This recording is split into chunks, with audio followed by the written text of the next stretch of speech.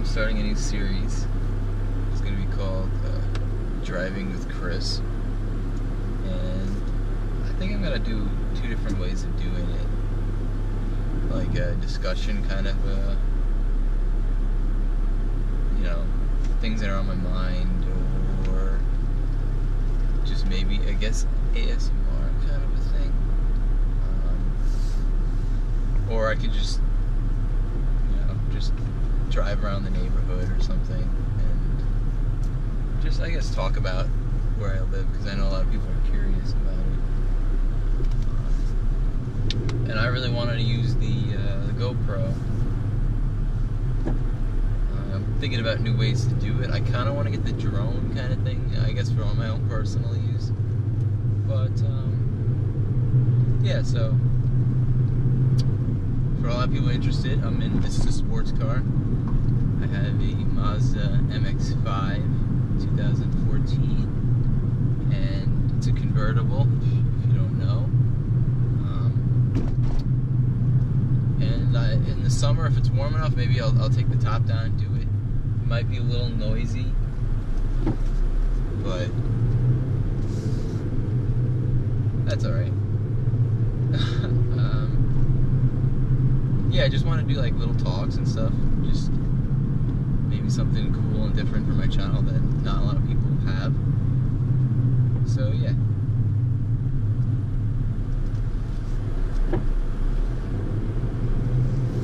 And I'm looking at getting another sports car.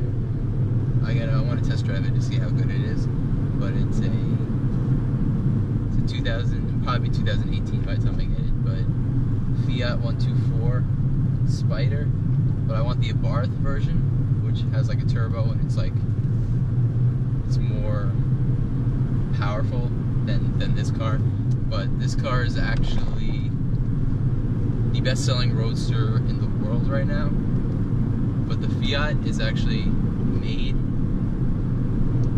by Mazda. It has like the same. The inside is almost exact. Is pretty much actually. I think it is exactly the same but it has minor tweaks in it. It has like a backup camera, which the Mazda doesn't have. But I thought I think it's a cool car, and I, I want it. But yeah, so uh, if, as you can see, there's a lot of snow. Last Thursday, there was a blizzard here on Long Island, and we got 13 inches of snow, and the winds were like 50 miles an hour. Incredible but it's been pretty mild weather lately. It's been maybe like 40s, and it's gonna be like in the 60s for the weekend, so a lot of this will be gone. But I hate living on the East Coast because it's like you gotta look at this crap for you know until it melts, and then when it does melt, there's like uh, there's water everywhere, and I like my cars clean. So when I see uh, when I see this stuff, I try to avoid puddles and stuff, and you can't you can't avoid it. People whip right through it, and it splashes, and it gets the car all disgusting. So, yeah. So I'm sitting on a red light right now, and what I'm gonna do, really quick, is I'm just gonna play around with the car, fling it around a little bit when I get away from a couple of these cars, and it's just gonna be like an intro video that I want to do for a new series. But like I said, I can't wait until the summer because it's gonna it's gonna be a lot. It's a lot more fun to film in the summer than it is in the winter. The winter's more depressing, I think. So yeah, but like I can I can come out and you can see the the trees and everything in the summer and everything. And I can I can be out longer driving around because you know I don't have any school or anything like that to worry about, and it's to me it's more laid back and fun to drive around in the summer. Even the spring, you can see you can see all the the flowers and everything. It's it gets really pretty over here. Autumn, you don't it doesn't you don't expect autumn. You expect autumn to be nice, but around here it's like it's not it's not really that great. Most of the trees just they just get brown really quick and they drop the leaves and like it's like November and there's still a few crappy brown leaves and sticks. There's no, you don't see real fall foliage out here unless you go out on the island further where there's like a lot of forests and stuff like that. So, autumn is kind of boring over here. I have great memories from the autumn, but not nothing more recent. Enjoy stuff like that more as a kid. And snow days, I always look forward to snow days when I was a kid because you know you get the day off from school, you got nothing else going on. So So there's something to look forward to. And now I have to clear property for the place that I work at, and it like ruins your whole day. So, you know, they're not as fun as they were when you I was a kid.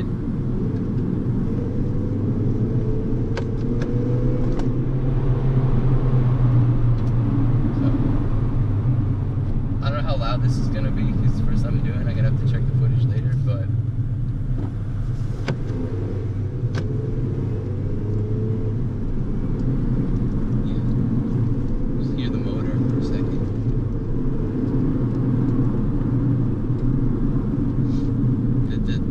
That I'm looking at getting has more powerful engine than this one. And when you hit, it has a turbo in it, so when you hit a certain RPM, it, it kicks in. But the only problem I don't like about it is that it it turns off after a while. It's like basically nothing's happening. So it's it's not as exciting as like say having a Corvette or something because you can always you can always hear it it's like a different ride. And I'm not a European car fan. This is a big park where I used to play. Um, I'm not a European car fan because it's a different feel than Japanese. I like the Japanese sports cars because they're easier to maneuver. They're more fun to fling around, especially rear wheel drive. Um, I like driving on turns. Driving straight to me is boring. So like I'm not into racing, and like NASCAR to me is like pointless. I don't, I don't get the appeal. Um, but I like flinging cars around. Like if, if you can give me a track, but that's like wavy and everything, I would love that. Like I would like to go to to Germany and drive on that street. That's cool. But when I was talking about with cars, um, I like I, I like to me, European cars are cool looking. The, the, outside is like better quality looking than Japanese. Japanese tend to be more plasticky, but the German cars, I like the lights of them and everything. But to me, if I were to get one, it would be like as a secondary car that I would use on occasion. Like I really like the Volkswagen Golf. To me, that's a that's a fun car because I've driven that in automatic and manual. I prefer the manual for that car so easy to shift. A lot of cars are annoying to shift. Like if you ever drive a Jeep Wrangler, the shift on that car I don't like. It's very it's very long, especially if you look at the old ones, the original ones. Years ago, the shifter was like this huge, obscure, weird knob, and it was like it's just like I don't understand. Obviously, that was the technology back then, but lot of cars are kind of similar to that truck wise. Uh, they don't really make manual trucks except like Jeeps kind of a thing, but it's not something I like. But yeah, German cars are stiffer rides than Japanese cars. Japanese cars feel better to drive, but it depends on your opinion, honestly, actually. But it's to me, it's easier to drive a Japanese car because the handling is a lot better in certain aspects. If you like, if you like a tight, stiffer ride, then go for German cars. The only thing is, a lot of German cars are not very reliable, and I'm not being biased here. They actually are not like they're quality materials, and you think that that, that doesn't make any sense but they make quality materials as in like the exterior like the metals they use are really nice and the lights and stuff like that is nice it's much better compared than compared to a Japanese. Uh, my I feel. But when it comes to quality and reliability, overall quality of what you're buying, you get your bet, better money's worth in a Japanese car, in my opinion. So, I guess it comes down again to to your opinion and viewpoint. But I, I mean, I do like the ride of a European car. It's just that I wouldn't want to own it and that be my only car. I want a car that I can easily move around like this one. But, you know, sometimes you want a stiffer feel. Or sometimes you want a smooth ride. So, I don't know. It's all preference, really. A lot of people really love European, a lot of people love Japanese, and then there's some people that like American you know, you get your muscle fan enthusiasts and stuff like that. So, I never really cared much for American cars. Um, to me, I don't they don't really do much for me. Like if somebody was like, "Here, have a Mustang, you can keep it," I'd be like, "All right," you know. But to like go out and be like, "I want a Mustang," that doesn't appeal to me. I like small cars that are, you know, you feel more compact and I don't like the feeling of having something behind me. And majority of people that actually SUVs are a big thing now, but a lot of people have sedans and you have the seats behind you and everything. I don't I don't like something behind me. I guess I'm so used to having sports car. I've been driving a roadster for eight years now. About about eight years. Eight years. So when I get in a larger car, it's just a weirder feel, you know. It's the same thing when you get an SUV. If you're not used to an SUV and you suddenly decide to buy an SUV, it's, it's different, you know. You know, you're not used to it. But I'm used. I'm used to driving other cars because I worked at a dealership and I had to do stuff with multiple different kinds of vehicles, and you know, I'm familiar. I can drive other cars, just that like I just really don't like driving larger vehicles. SUVs, I like a lot of people will be like, I want this this Jeep or whatever. Like to me, I would never want a Jeep. Well, because they're not good cars. Sorry for you Jeep they have terrible reviews. Chrysler, actually, there's one right behind me. But Chrysler is rated the worst car company in the world right now. And Jeep, Chrysler, Dodge, the same companies. It's the same company. They all they just make different names on.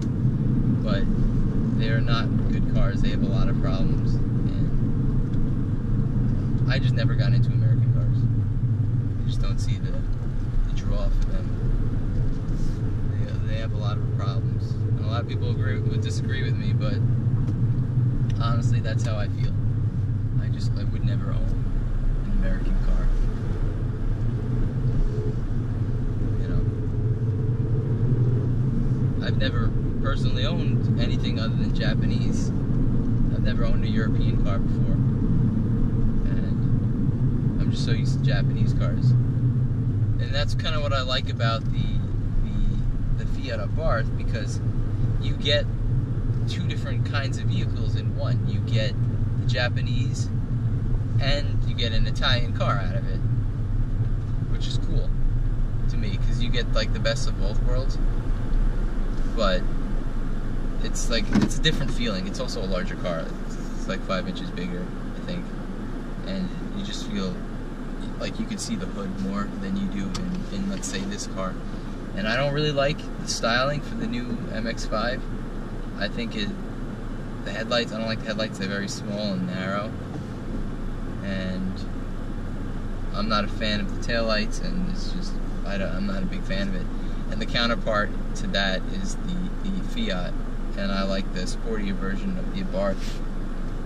And if you're familiar with the, the Scion FRS and the Subaru version of it, the BRZ, it's the same. It's like the same thing, but well now they don't make the Scion now. They took it over as Toyota, but it's like the same thing. They're like counterparts. but it's the same people who make them. So.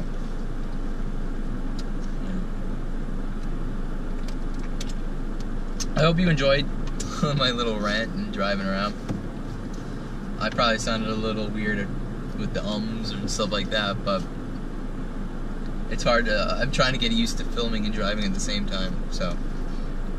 I hope this was different and you enjoyed it, and I'll incorporate like you know other stuff with it. I'll have to figure it out. This is my first video doing it, so I'm not really too familiar with it. But yeah, so we'll see what happens in the future, and uh, I look forward to doing more of these. So see you.